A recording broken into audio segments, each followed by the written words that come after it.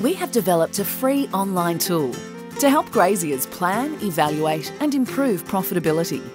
Breedcow and Dynama herd budgeting software. The homepage explains what the tool can do.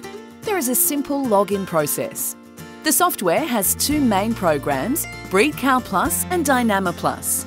There are also a number of standalone programs that users can access.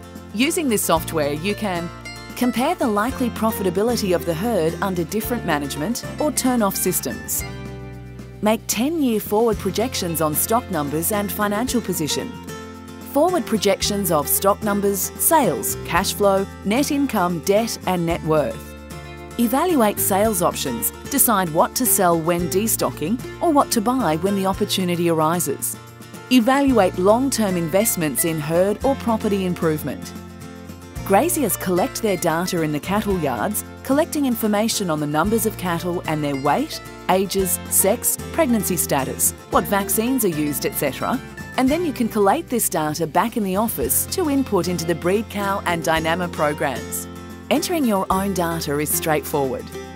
Breedcow and Dynama has been developed to help you to make better decisions. It's free. Sign up at breedcowdynama.com.au.